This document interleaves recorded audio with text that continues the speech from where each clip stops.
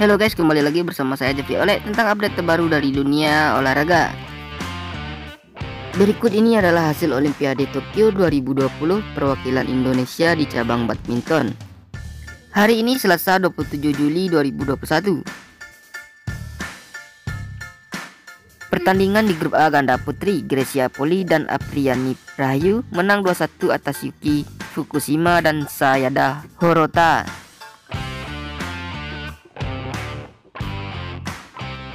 Berikut ini adalah daftar klasemen sementara badminton ganda putri Olimpiade Tokyo 2020 di grup A.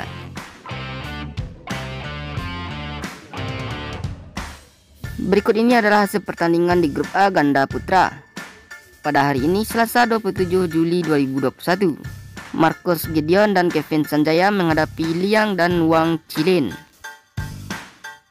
Inilah klasemen sementara ganda putra Olimpiade Tokyo 2020 di grup A.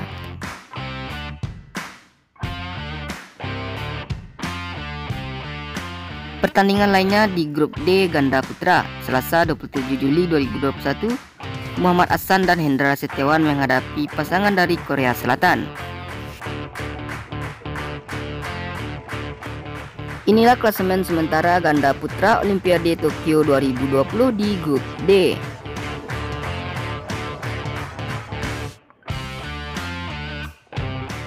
Saksikan juga pertandingan di grup G tunggal putra. Jonathan Christie akan menghadapi Ken Yeuloh dari Singapura pada hari Rabu 28 Juli 2021.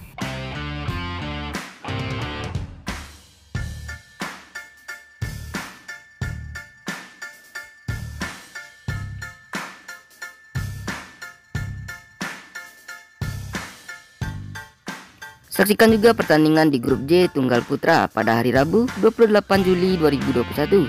Anthony Suka Ginting akan menghadapi Sergi Siran dari Rusia.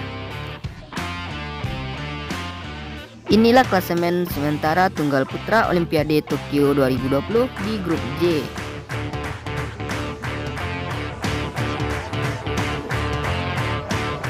Berikut ini adalah drawing tempat final badminton ganda campuran 2020.